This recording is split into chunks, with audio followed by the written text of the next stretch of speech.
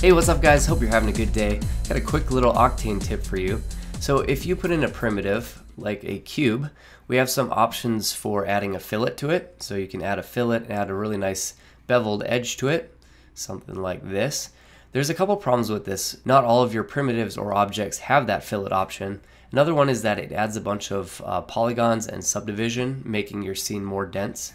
So I found this really cool thing in Octane where you can add um, fillets to any object, but it's part of the material, so it's not actually adding more subdivision, meaning it's not going to make your scene more dense. It's pretty interesting. So let's throw on a new glossy material, and we'll make this a nice blue color. And we'll throw this onto our object here. So if we go into our Platonic, we don't actually have an option for rounding the edges with a fillet or anything like that.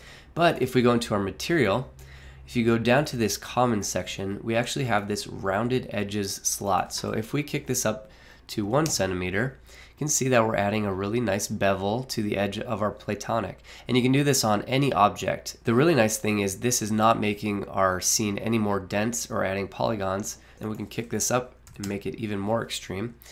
Pretty cool little feature here. I would definitely recommend using this if you're in Octane and uh, definitely play around with that. So hopefully that helps you guys out. As always, thank you for checking out the Pixel Lab. We'll talk to you next time.